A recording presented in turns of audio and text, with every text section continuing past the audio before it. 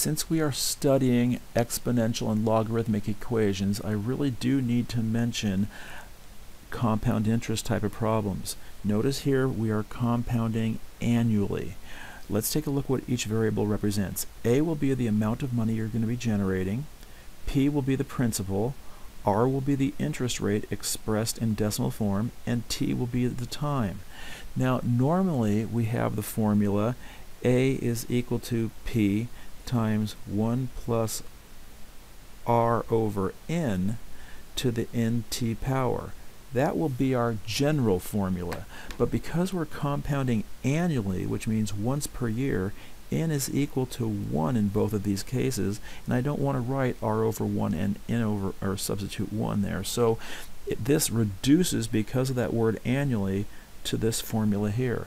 Had this compounded quarterly, n would have equaled 4, and we'd go back to this original equation. So now let's go back and look at what we have here the amount of money will equal 12,000 being invested times 1 plus an interest rate which is 3 and 3 quarters percent that'll be 0 0.0375 make sure that you move the decimal over a couple places to the 15th power because this will take 15 years. Now this is a calculator problem.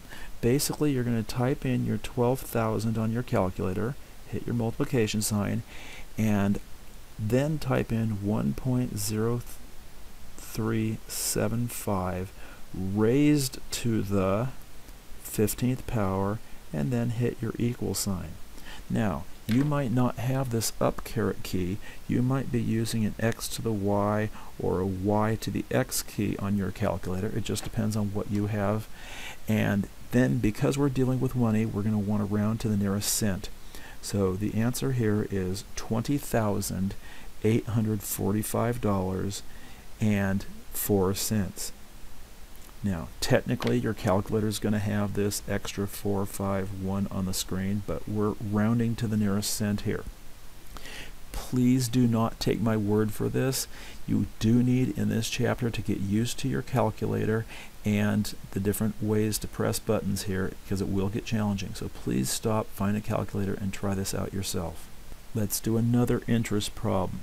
Again, this is compounding annually, so we're going to use the same formula we had above the amount of money will be principal times 1 plus, and I'm actually going to write this as r over 1 to start getting you used to this, raised to the 1t power. We don't really need those 1s there, but later on those 1s will change to a number, another number.